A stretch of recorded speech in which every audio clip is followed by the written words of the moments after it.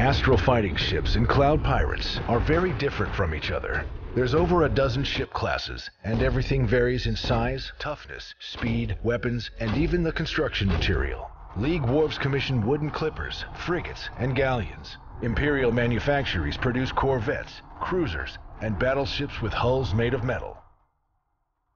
The Torpedo Clipper is a ship for captains that are bold and lucky. It swiftly catches up with any target and launches a salvo from its tubes. After this, it should promptly head somewhere else. The little ship has almost no protection against the enemy, relying solely on its speed.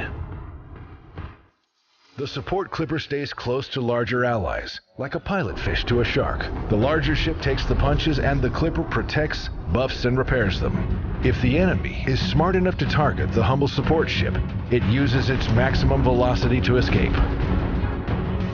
Though the engineering frigate is made of wood, it is stuffed with high-tech gadgets. It can launch support drones, repair bots, and has an assortment of turrets. It should still fire at enemies with its not-so-powerful cannons in order to charge the reactor that powers all of its gizmos.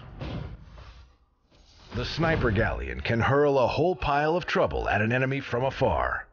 If the offended enemy approaches the sniper to retaliate, the latter can engage a cloaking field or teleport away. The reinforced galleon is well defended, Leroy Jenkins.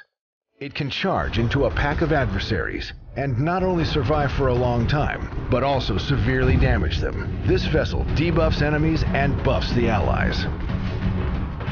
The defensive galleon's captain always has the feel of being tall and broad-shouldered. Everybody wants to get behind his ship so it naturally becomes the core element of an aggressive team. All the modules of this galleon boost its own and allies' defenses, while weapon fire hastens their recharge. The support corvette runs circles around its larger enemies, repairing, boosting speed and maneuverability. A skilled captain is able to impress his friends by intercepting an enemy torpedo launched at them.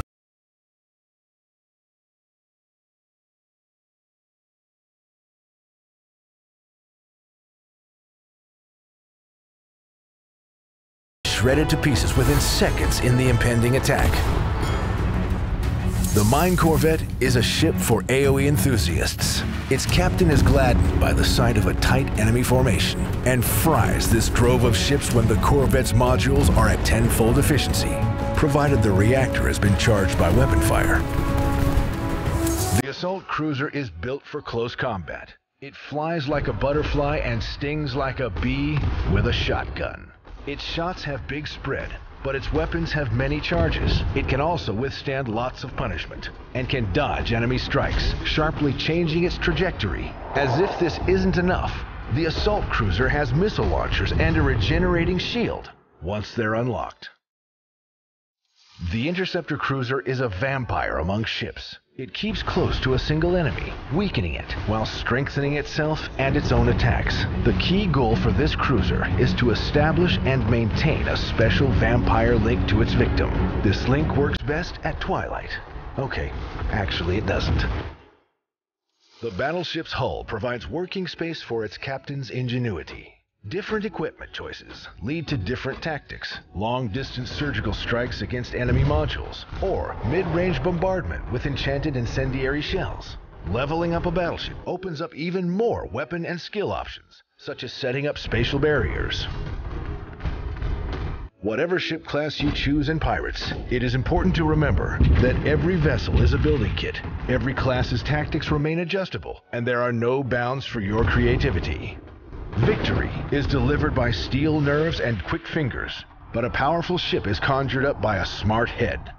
Experiment, try new classes and setups, and you will rule the skies.